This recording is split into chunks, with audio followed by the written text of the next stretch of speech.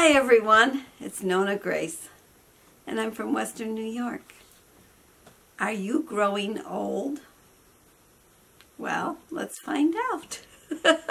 this is a good one. Um, when you're one years old, what do you focus on? You focus on trying to learn how to walk.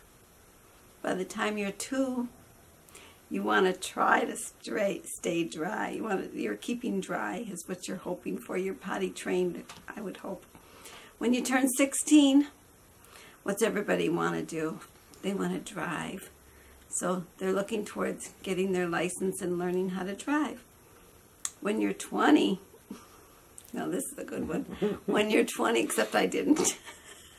I have to wait till I was almost 30. You want to have sex. Well, yeah, everybody wants to have sex at that age, maybe. Um, when you're 30, that's about when I had my kids. You're having kids, so that's what you're having at that age. Then 40, you're still working.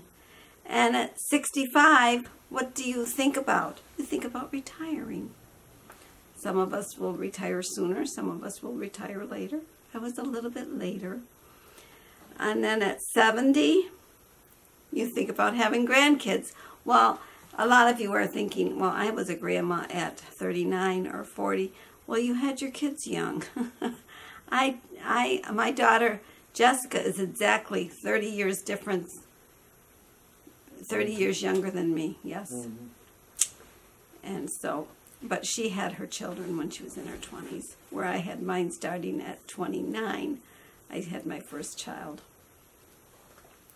Um, at 80, what are you thinking about again? You're thinking about having sex again. Because now it's not so easy, I guess. And at 85, what's happening? They're trying to get you to either stop driving or they want you to take a driving test. But driving is on your mind again. Then at 90, you're thinking about trying to stay dry again. You're trying to keep dry. And at 95, you're thinking about walking. So our lives go from trying to walk to ending with trying to keep walking, trying to keep walking. And the thing that we worry about the most is our memory and our mobility. We always think that our mind is going to go or we, become forgetfulness or we're not able to do certain things um, that we fear that we won't be able to walk. Well, today I did a lot of, because um, my balance is really wicked. I have terrible balance, and I think it's a lot to do with my inner ear. So I, I watched a video today where I had to stand on one foot, and, and it was for 20 seconds. Then you switch and you stand on the other foot for 20 seconds. Well, I can make it on the one foot for 20 seconds. The other foot, well, not so good. I made it to maybe 15. Oh, you're going to try it. He thinks he's so smart. he has good balance. You know, he can put his socks on standing up. I have to sit down to put my socks on. And, you know, after a while, putting your socks on is going to be a problem. Buttoning buttons is a problem. You find that your fingers don't seem to work like they used to. Tying shoes is still easy. I like tying shoes. That I think is fun. And tying, um, threading a needle, I figured out a way to thread a needle really easy now because I used to have such a hard time. The the older you look at, he's still standing. Are you? You're not. Oh yeah, you are just standing. Never mind. I thought his foot. I thought you were cheating nope. with your little foot on the bench, nope. but you're not. He's got good balance. That's why when I drive the motorcycle, I want the extra wheels because I know my balance is stinky. It's off. And I have a feeling that the inner ear is the problem because that's probably why I get motion sickness. He borrowed an inverter table from a friend of his. It's in the other room. But um, he can go upside down with no problem. When I when I tried it, he had to take me slowly down and slowly up because I will want to vomit if I go too fast. Oh, now he's doing the other leg. Okay, Mr. Stork. My rooster can stand on one leg. That's pretty good. Um, that was about a minute on the first one. Wow, you're pretty good. Then you had to do, then there was other things you had to do besides stand on one leg. You had to um, cross over your foot and step over. You had to cross and step, cross and step. And then you had to step over a line. You had to jump with two feet over the line, like back and forth. And then you had to bring one foot over and the other one back over the line and keep doing that for 20 seconds.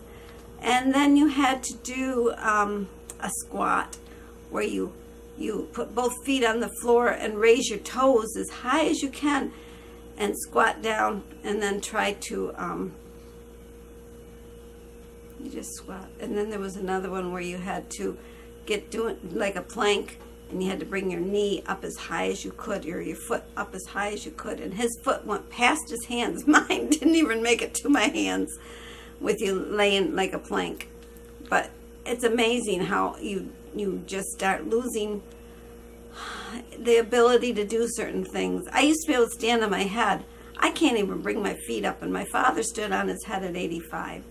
And I don't know if I'll be able to do it. I can't do it at my age, and I'm I've got 20 years to go at least. Just about, not quite, a little less than 20 years. I forget how old I am.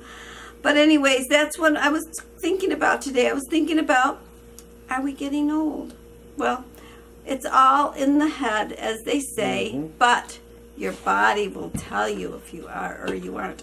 And another thing that I watched, oh my nose itches. This is this is true. I'm, I really watched it, where they were talking about how with because we're always texting, your neck is down like this, and you're doing whatever, and you're on the computer, and so you've got this turkey neck, where you want to go out and that's bad. And they used to say when I was in school, your head weighed seven pounds. Well, now they say the head weighs ten to fourteen pounds.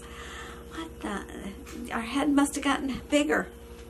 That's probably More brains. More brains, yeah, sure thing. More more empty space or something. I don't know. More lead up there.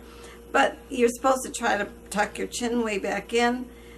And then they did a W thing where you put your hands up like this and you put your hands and then they did a, like a Y thing and your head has to stay back. Got to make sure you keep your head back. And there, there was a lot of things I was watching, but it's amazing. And to make sure that your head and your body is still straight, just put your feet, put your heels against the wall. Lean your back against the wall and now put your head against the wall. And if you can still do that, you're still pretty good. If you can't do that, you're getting crooked. So I guess that's it for today. Mm-hmm. Just health and wellness type stuff. Are you getting old? As we age, and we're not getting old, we're just getting better, Yep. I'll talk to you all again tomorrow. Bye.